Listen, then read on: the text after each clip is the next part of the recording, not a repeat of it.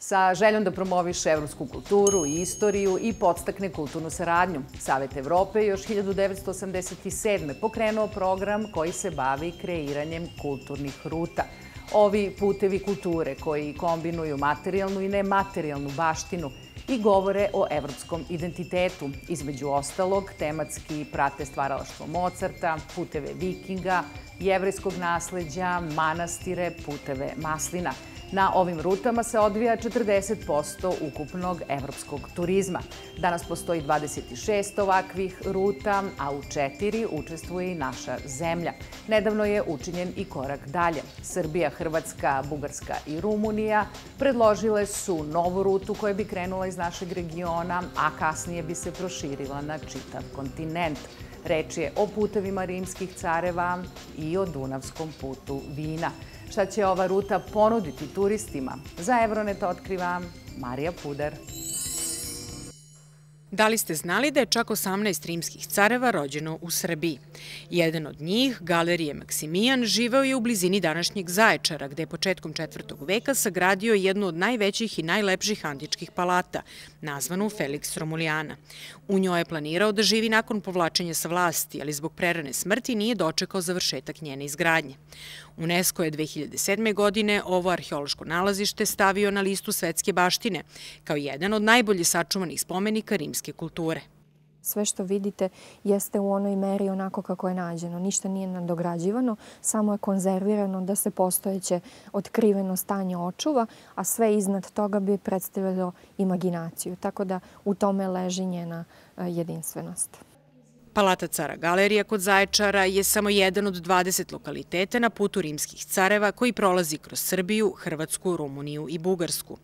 Ove četiri zemlje su povezale istorijski spomenik iz rimskog perioda u jedinstvenu kulturnu rutu dugu 4000 km.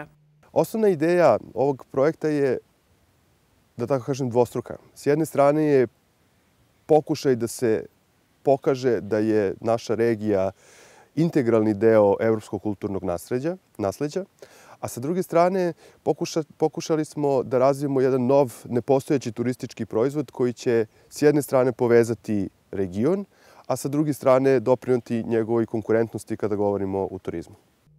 Osim što će domaći i strani posetioci ove rute biti u prilici da posete mesta na kojima su rimski imperatori vodili svoje bitke, planirali nova osvajanja i oporavljali se nakon borbe, moći će da upoznaju i Dunavski put vina koji prolazi kroz 12 regija. Osnovna tema naše rute je, je rimsko nasledđe, a osnovni, odnosno glavni suplementarni proizvod je vinikultura, odnosno iskustva vina. Ona je na ovim, u ovom regionu stara preko 2000 godina Ona potiče iz vremena pre Rimljana, ali su i Rimljani dali, da tako kažem, e, svetski, svetski značaj. U oktobru ove godine ruta Putevi rimskih careva i Dunavski put vina postaće zvaničan kandidat za Evropsku kulturnu rutu Saveta Evrope, a dobijanje sertifikata očekuje se početkom 2015. Savet Evrope više od 20 godina pomaže razvoj kulturnih ruta sa ciljem da se promoviše transnacionalna kulturna saradnja i turizam. Na taj način se ubrzava i ekonomski razvoj evropskih regija. Pre svega obezbeđujemo članicama edukativne programe za upravljanje kulturnim rutama i savjetujemo ih kako da ih najbolje predstave javnosti. Takođe pomažemo im da se što bolje povežu i kreiraju turističke proizvode koji im mogu obezbediti profit. Partneri na kulturnim rutama Saveta Evrope zajednički rade na kreiranju atraktivnih programa za posetioce, nudeći različite aktivnosti i kreativne načine putovanja i istraživanja Evrope. Već 20 godina na taj način sarađuje 16 zemalja uključenih u severnoevropsku kulturnu rutu pod nazivom Hanza, čije formiranje inicirala Holandija. Ove zemlje, među kojima su i Velika Britanija, Švedska, Poljska, Ruska federacija, su još pre 800 godina međusobno trgovale. Danas na ovoj ruti turisti mogu da vide na koji način se trgovalo začinima u srednjem veku i kako su evropljani živeli u to doba. Danas smo razvili mnoge vidove saradnje. Jačamo ekonomske i trgovinske veze, razmenjujemo znanje i informacije iz mnogih oblasti, ne samo kada je reč o turizmu. Imamo posebne programe za mlade kao i one namenjene povezivanju preduzetnika.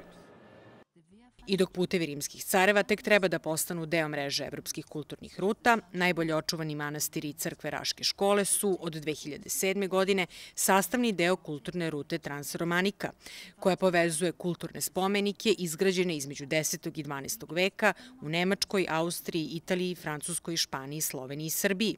Naša zemlja je preko organizacija civilnog sektora uključena u još tri evropske rute, putevima jevrijskog nasljeđa, Svetog Martina i Maslina.